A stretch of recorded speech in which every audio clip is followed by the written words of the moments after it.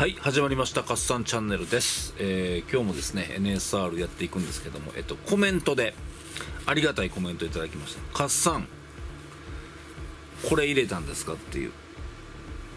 見えるでしょうか。このちっちゃいオーリング2つなんですけども16にはなくて18にはあるこのミッションのですねオイルをこう回すギアがあるんですけどそこにつけとかなダメだったんですよ。これをちょっと忘れたんでこれを付け直すところから今日は始めたいと思います。カッサンちゃん。暴れというか。こいつ。フォロワーさんがこれ乗ってたら暴れないよって言ってたんで。ポンプですね。これをこのままドンといきます。こんな感じですね。よし今のは完全にちゃんと入ったと思います。はい。でこれで。締めるとこのためだけに外しました、はい。トランスミッションオイルポンプ。16にはないんですけどトロコイ式オイルポンプを追加することによってトランスミッションのフリクションの低減耐久性の向上を図っているということですね。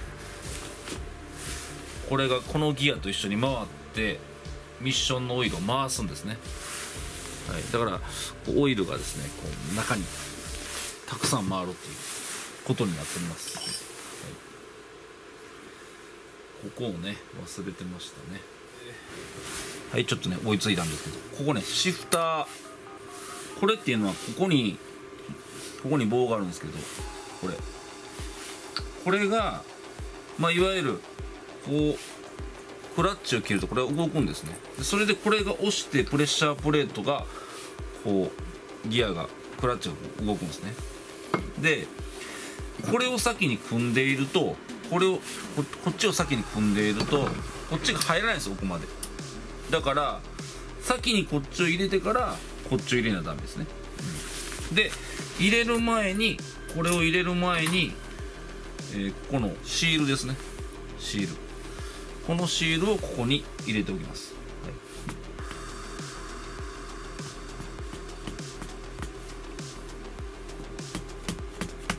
こうですね。めちゃくちゃ綺麗になりましたね。こんなに汚れてたのに綺麗になりました。これを入れます。でここに蓋のワッシャーみたいなのがありますね。蓋のワッシャー。でこうですね。あでここですね。このこの当たるところ。ここにモリブディングリスを塗るらしいです。はいえー、こうなるところですよ。要は。でこれでもうグイグイ押していくんで。はい。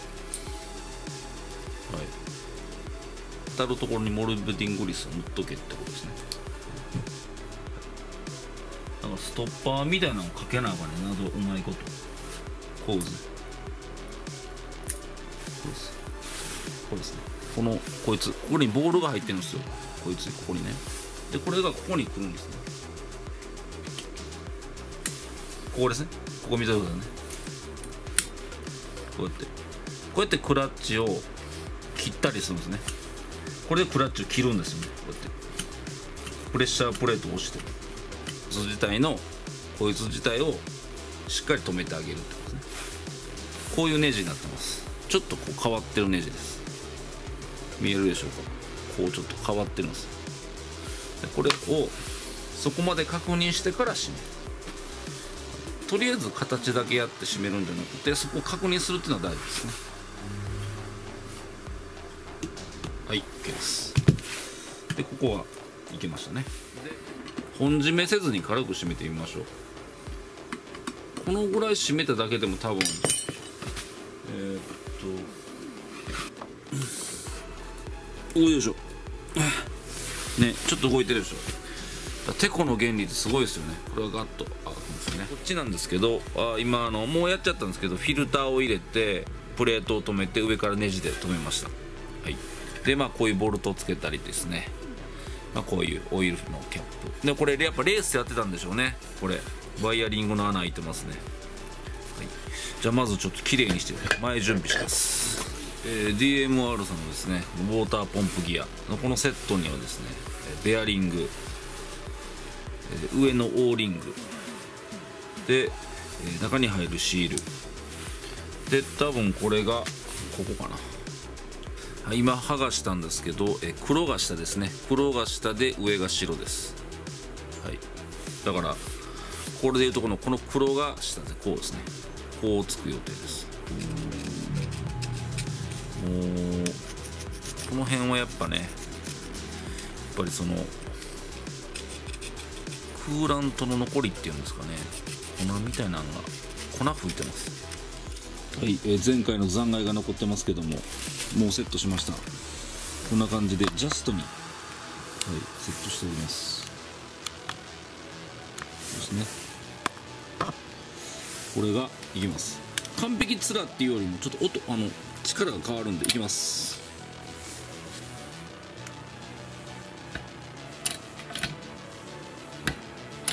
スポッと入りますね。ここですね。ここですね。はい重さ変わりました。ここです。むっちゃ楽。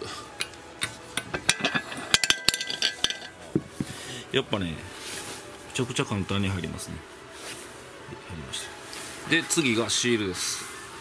でここに、えーこのシールが入るんですけどもこのシールはこうではなくこうです。こっち向きに入りますね。面がこっちに入ります。これが入ります。はいそれではシール入れます。でちょっとちょっとだけシリコングリス。ほんのちょっと。はい入りました。じゃあここから次メカニカルシールですね。これメカニカルシールは普通はめっちゃ難しいんですけどこれこう入ります。このメカニこの青いとこがねのりみたいにカチッてなるんですけどこれをこう入れます。はいセットしました。やってみましょう。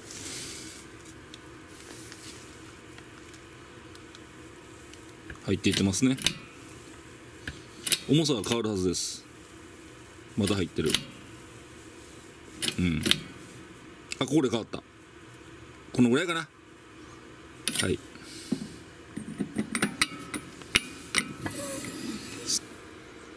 バッチリピタッと入ってるでしょ。ね。ちょっとあの中がね若干腐食してるのはもったいないんですけどこうバッチリ入ってますね。隙間なくきっちり入ってますね、うん、あともうもうワンプッシュしてもよかったかな。えでもまあ絶対じゃ大丈夫ですね。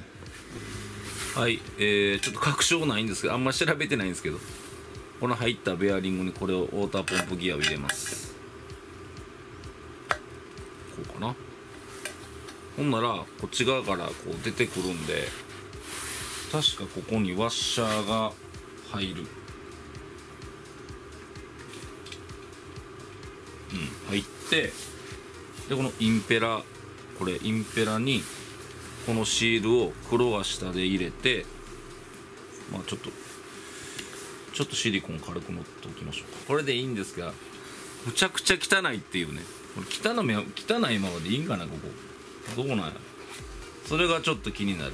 DMR さんのセットにはこの R カバーのガスケットとこのウォーターポンプギアの、えーガスケットも入ってるんでまあ復元しやすいということにめちゃくちゃ汚いです。ほらもう真っ白。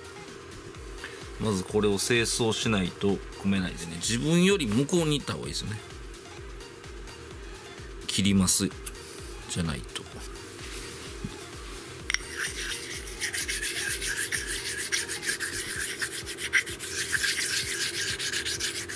はいということで、えーちょっと調べて、えーまあ清掃も頑張ったんですけどやっぱこの中におる白サビが取れないんですよね。全然取れないですよ。はい、でまあこのインペラも白サビがありますよね。でちょっと今電話で聞いたらやっぱりこういう白サビが水で溶けて中であの悪さするっていうことなんでもう絶対に徹底的にこれは取っといた方がいいっていう、えーまああのご意見をちょっと今聞いたんでまあ本当はこれでですねあのーこのカバーをつけてであの絶対に忘れたらあかんえっとウォーターポンプギアのワッシャーどこ行った？もうね忘れるからねほんまつけたかったです本当は。もうあれあれ。あれ どこ行った？もうはい本日のまとめです。元いね。まあとりあえずウォーターポンプギアはまあつけれました。で、え、ベアリングの圧入。まあ今回まあその辺りがメインですね。はい。でまああとはもうこの忘れたらあかへんこのウォーターポンプギアのワッシャーね。このワッシャーを絶対にこのウォーターポンプギアのここにちゃんとつけるのを忘れない。であとはもうこれを閉めたら、えー、もう片側は終わりの予定やったんですよ。はい。ですがえー、っと、まあ、先ほども言ったようにしっかりと白サビを取ってからじゃないと作業を進めれないっていうことで、まあ、清掃ですね。ということでまだまだ清掃するとことかですねやるとこいっぱいありますんで引き続き、えー、お楽しみください、えー、今回は特にですねメカニカルシール頑張りました。カッサンチャンネルそれでは。